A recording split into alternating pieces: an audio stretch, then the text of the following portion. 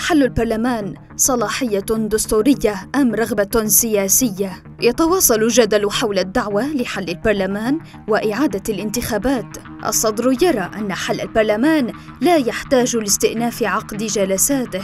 لكن المالكي يعارض الصدر ويشدد على الاحتكام لقبة المجلس التشريعية. الدستور العراقي حل الاشتباك السياسي حول البرلمان بمادتين اثنتين المادة 64 أجازت حل البرلمان بطريقتين اثنتين. الأولى بالأغلبية المطلقة بناء على طلب من ثلث أعضائه أو طلب من رئيس مجلس الوزراء وبموافقة رئيس الجمهورية. الثانية بدعوة رئيس الجمهورية عند حل مجلس النواب إلى انتخابات عامة في البلاد خلال ستين يوماً. أما المادة 47 فشددت على فصل السلطات وأكدت ممارسة كل سلطة لعمل ضمن التخصص. رد الصدر على إيضاح القضاء بمهلة أربعة أيام لأنصاره لتقديم دعاوى قضائية.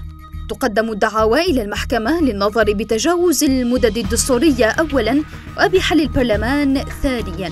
فهل سيكون حل البرلمان العراقي مخرجاً للأزمة السياسية؟